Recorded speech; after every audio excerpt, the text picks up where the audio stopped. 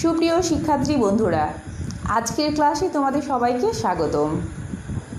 কেমন আছো সবাই? নিশ্চয় ভালোই আছো।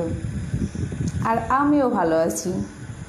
শিক্ষার্থী বন্ধুরা, তোমাদের সঙ্গে আছি আমি তোমাদের রাফিয়া ম্যাম, চাঁপাইনবাবগঞ্জ থেকে।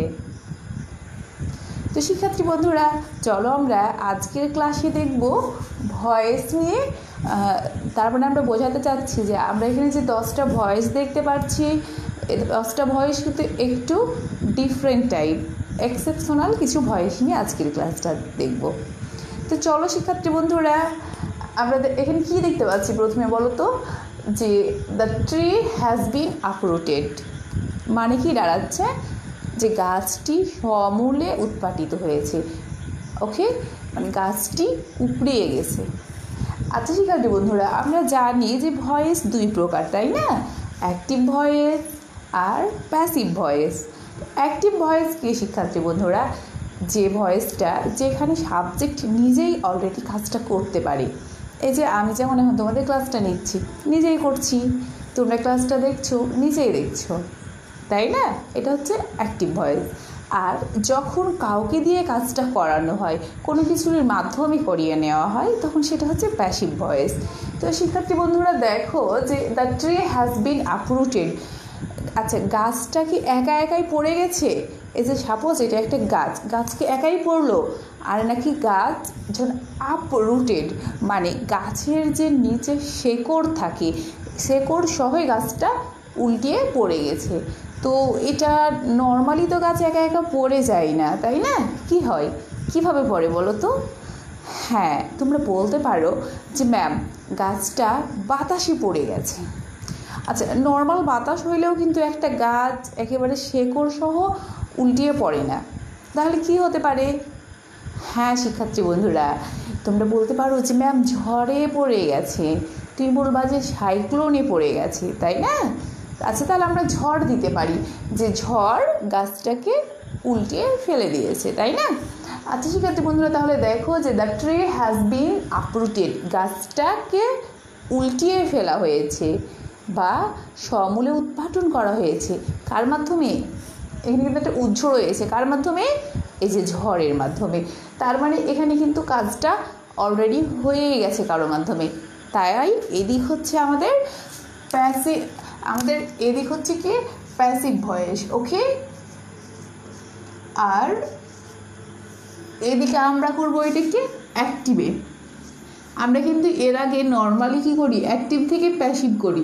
আজকে যেহেতু তোমাদের একটু এক্সেপশনাল ক্লাস ডিফারেন্ট ক্লাস তাই আমরা করব কি? প্যাসিভ থেকে অ্যাক্টিভ আর যেখানে প্রত্যেক জায়গায় আমাদের সাবজেক্টটা উজ্জ্ব থাকবে, যে যার মাধ্যমে আমাদের কাজটা করা হচ্ছে। তাহলে আমরা এখানে কি পেলাম? যে গাছটাকে কে উপড়িয়ে ফেলেছে? আমরা দেবো কি শিক্ষার্থী বন্ধুরা দ্য স্টর্ম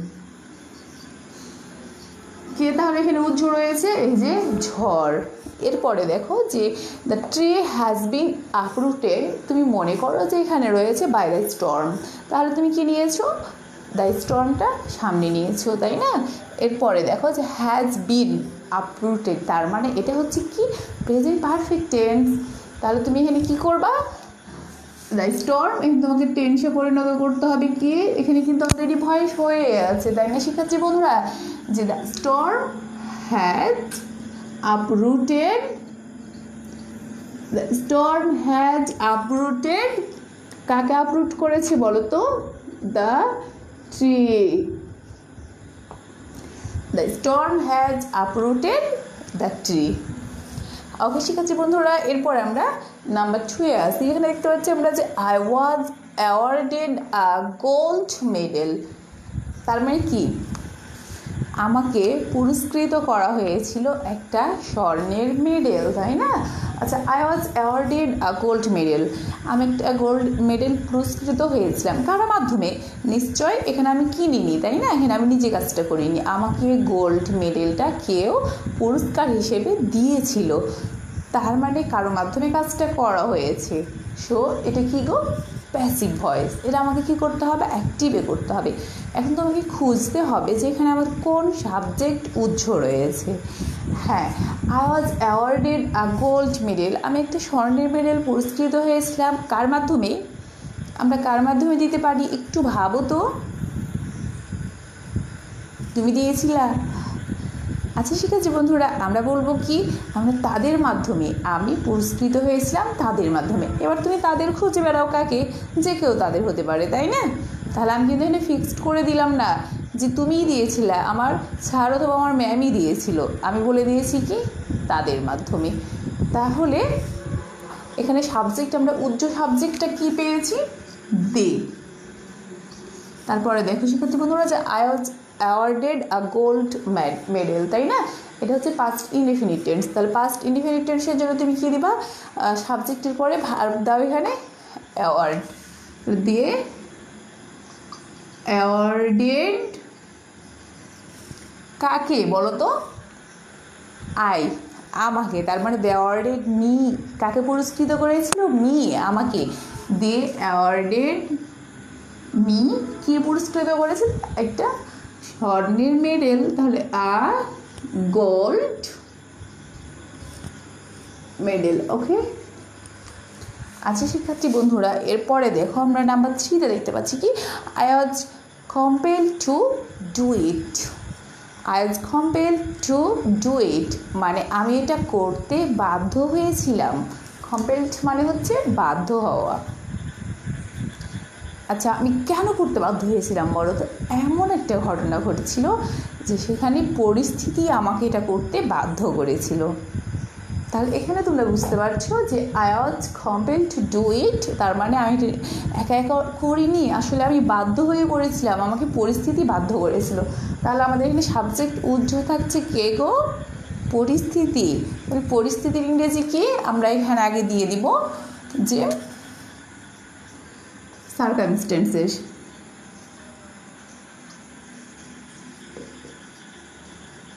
Circumstances? আচ্ছা এটা দেখো আই ওয়াজ কম্পেলড তার মানে কি রয়েছে এটা? Past indefinite tense circumstances compelled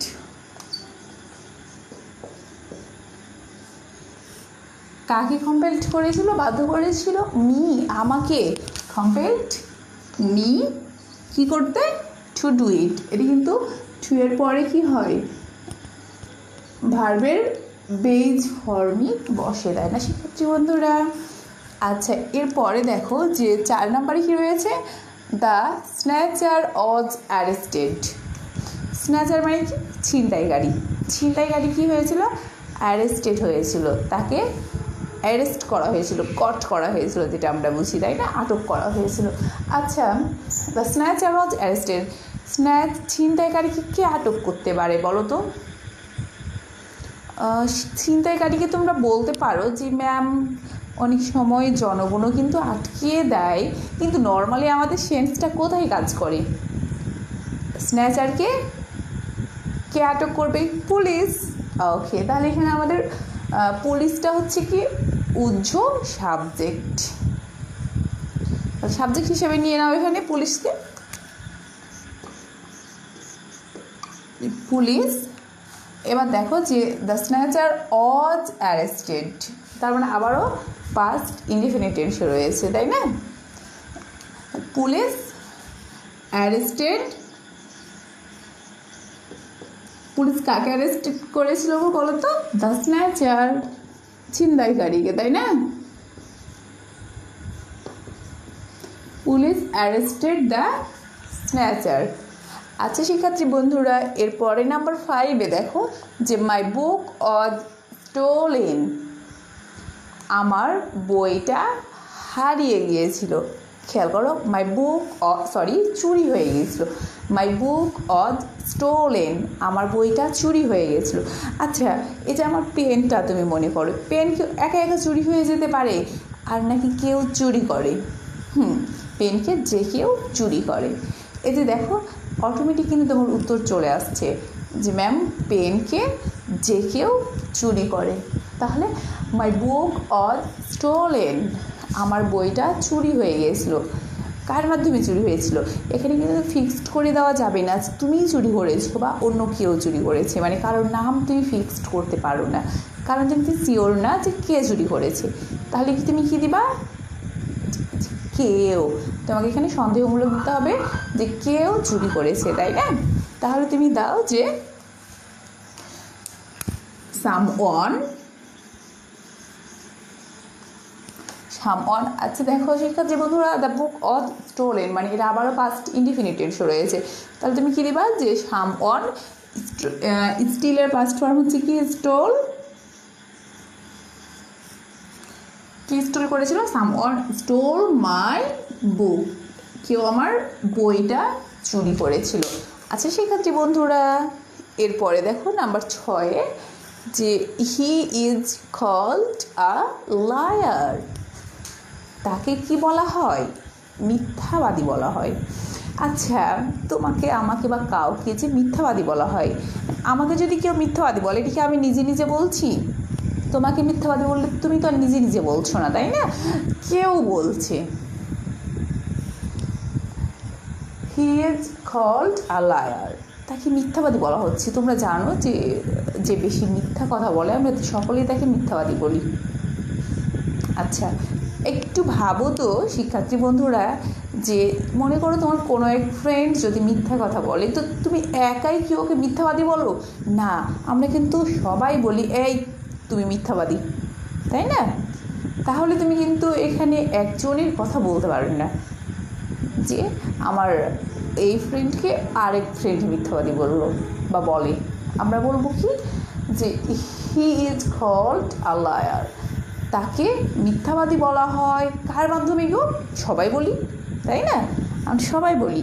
তার মানে কি তুমি বলতে পারো যে পিপল লোকজন। আবার বলতে পারো উইও বলতে পারো যে আমরা তাকে মিথ্যাবাদী বলে ডাকি আর কি, বা মিথ্যাবাদী বলি। তাহলে আমরা এখানে উই সাবজেক্ট হিসেবে নিতে পারি অথবা পিপল নিতে পারি। তো শিক্ষার্থী বন্ধুরা, এখানে আমরা নিয়ে নিলাম যে পিপল যে লোকজন, এটা দেখো যে ইজ কল্ড তার মানে প্রেজেন্ট ইনডিফিনিটেন্স রয়েছে, তাই না? তাহলে তুমি কি করবা?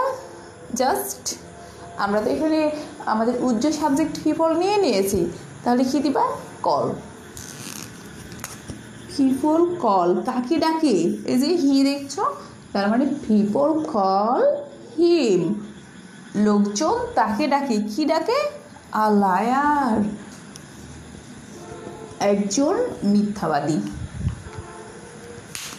শিক্ষার্থী বন্ধুরা, এরপরে দেখো, নাম্বার সেভেনে আমরা দেখতে পাচ্ছি যে he is not known here is not known here মানে কি? হি ইজ নট নোন তাকে কেউ চিনি না। হি ইজ নট নোন তাকে কেউ চিনে না হেয়ার এখানে। তার মানে দাঁড়াচ্ছে যে সে কাউকে চিনে না, এটা কিন্তু বলা হচ্ছে না। সে এমন একটা মানুষ যাকে কেউ চিনে না। মানে আবারও দেখো, অন্যের মাধ্যমে কাজটা কমপ্লিট করা হচ্ছে। তাই না শিক্ষার্থী বন্ধুরা?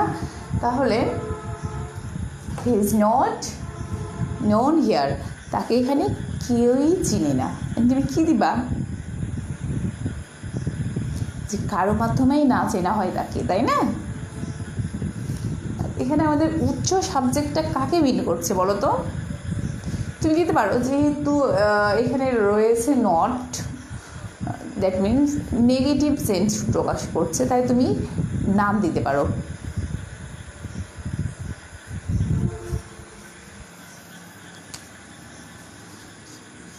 নান। তাহলে কিন্তু নটের কাজ অলরেডি হয়ে গেল। আচ্ছা দেখো, ঈদ ছিল, তার মানে এটা কি ছিল? প্রেজেন্ট ইনডেফিনিট টেন্সে তো প্রেজেন্ট ইনডেফিনিট টেন্স থাকলে তুমি কী করবা? নোট আর নানের সঙ্গে আমাদের কিন্তু এখানে ভার্বটা কী হবে? সিঙ্গুলার ভার্ব হিসেবে নিতে হবে, তাই আমরা এস যুক্ত করলাম। He is not known here that means none not কেউ চিনে না, কাকে? তাকে। হিম কোথায়? এখানে হিয়ার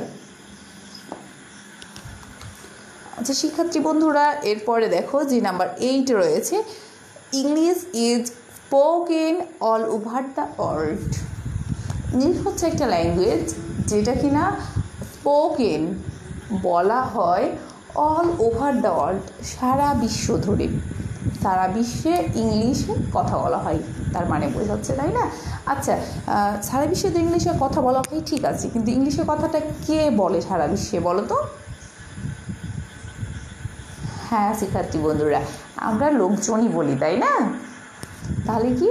লোকজন, এটা তো আর কোনো অন্যান্য প্রাণী দিয়ে আমরা বলাতে পারি না। তার মানে যারা আমরা মানুষ আছি, তারাই বলি। English is spoken all over the world English সারা বিশ্বেই বলা হয়। এই কাদের মাধ্যমে গো? কাদের মাধ্যমে? পিপল লোকজনের মাধ্যমে। হ্যাঁ তাহলে তুমি দাও।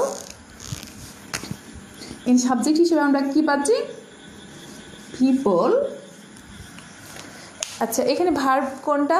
স্পোকেন এখানে দেখছ তুমি সামনে ইজ রয়েছে। তার মানে এটা present indefinite tense present indefinite টেন্সের জন্য তুমি এখানে যেহেতু পিপল আমাদের সাবজেক্ট তার মানে এটা প্লোরাল প্লোরাল সাবজেক্ট তাই আমরা প্লোরাল ভার্ব নিব পিপল স্পিক এখানে কিন্তু আমরা আর এস যুক্ত করব না, আমরা সিঙ্গুলার নিব না।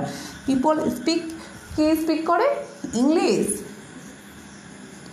পিপল স্পিক ইংলিশ লোকজন ইংলিশে কথা বলে অল ওভার দ্য ওয়ার্ল্ড সারা বিশ্বে, তাই না? People speak English all over the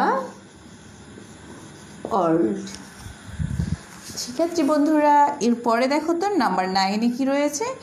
Promise should be kept promise বলতে কি? তোমার দেওয়া কোনো কথা, তাই না? তুমি কাউকে যে কোনো কথা দিয়েছ সেটা। তাহলে প্রমিস শুড বি কেপ্ট যে কেউ যে শপথটা করে, সেটা কিন্তু তার রাখা উচিত। প্রমিস শুড বি কেপ্ট তার মানে কি বলবা তুমি? আমি কিন্তু এটা বল এই সাবজেক্টটা আমাদের কে উজ্জ্ব রয়েছে বলো তো? আমরা কিন্তু বলতে পারি যে আমাদের আমরা যে প্রমিসটা করছি, সেটা রাখা উচিত। তার মানে আমরা কিন্তু উই উজ্জ্ব রাখতে পারি এখানে। তাহলে আমাদের সাবজেক্ট এখানে উই উজ্জ্ব রয়েছে। উই দিয়ে দাও। আচ্ছা শিক্ষার্থী বন্ধুরা, দেখো, এখানে কিন্তু আমরা মোডাল ভার পেয়ে গেছি শুট তাহলে আমাদের শুট কিন্তু রাখতেই হবে, তাই না? এটি যেহেতু প্যাসিভ হয়ে আছে, তাই বিটা উঠে যাবে। উই শুড আমরা অ্যাক্টিভে যেহেতু এটা পরিণত করতেছি, তাই উই শুড এবার হচ্ছে কেপ্ট কী কী করবা তুমি? কিপ করবা। যে উই শুড কারণ শুডের পরে তোমাকে ভার্বের বেজ ফর্মটা দিতে হবে। উই শুড কিপ কী কিপ করবা? Promise we should keep our promise হ্যাঁ কাদের? আমাদের। We should keep our promise okay শিক্ষার্থী বন্ধুরা লাস্ট ওয়ান আমরা দেখতে পাচ্ছি যে Rome was not build in a day okay Rome was not build in a day Rome একদিনে গড়ে ওঠেনি বা রোম একদিনে তৈরি হয়নি। আচ্ছা রোম নগরীটা তাহলে কে তৈরি করেছিল? বলো, কারও মাধ্যমেই তো তৈরি হয়েছিল। হ্যাঁ একদিনে তৈরি হয়নি, অনেক সময় লেগেছিল। সেটা ফ্যাক্ট না। ফ্যাক্ট হচ্ছে যে রোমনগরীটা তৈরি করেছিল কে বা কারা? আচ্ছা রোমনগরী তো আমাদের বাংলাদেশের না। নিশ্চয়ই আমরা এটা তৈরি করতে যাইনি। তাই না সেক্ষেত্রে বন্ধুরা? আচ্ছা এটা তো কোনো তাজমহলও না, যেটা ইন্ডিয়া থেকে কেউ করবে। তাহলে তুমি কী দিবা? তুমি এখানে দিতে পারো যে দ্য রোমান্স যারা রোমের অধিবাসী, তাই না? আবার তুমি বলতে পারো যে লোকজন দিতে পারো এখানে, কিন্তু কমন আমরা একটা জিনিস ইউজ করতে পারি লোকজন, যেটা হচ্ছে পিপল তাহলে তুমি এটা দুইটাই দিতে পারো। তাহলে আমাদের উজ্জ্বল সাবজেক্ট হিসেবে আমরা কিন্তু নিতে পারি যে পিপলও নিতে পারি, আবার নিতে পারি।